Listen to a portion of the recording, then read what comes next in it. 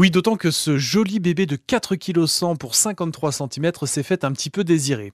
Alors, euh, dimanche soir, Mamia, la maman de Lina, s'est mise à table avec son mari et ses deux fils de 4 et 2 ans pour le réveillon de la Saint-Sylvestre. On a fêté le réveillon à la maison comme si euh, normal. Et j'étais encore debout jusqu'à 1h du matin. Et à 2h30, je me lève avec des contractions fortes. Et là, on a décidé après une heure euh, d'aller à la maternité à Bel Air, à Thionville.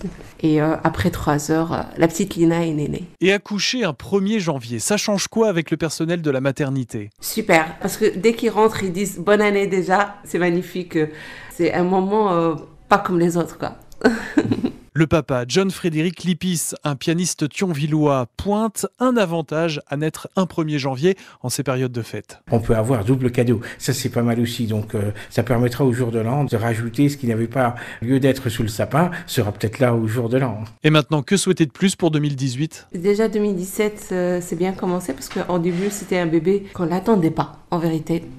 Et la semaine que j'ai su que j'étais enceinte, j'ai eu déjà trois bonnes nouvelles. Donc euh, 2018, euh, je crois ça, ça va être euh, pareil. Une chanson douce que me chantait ma maman.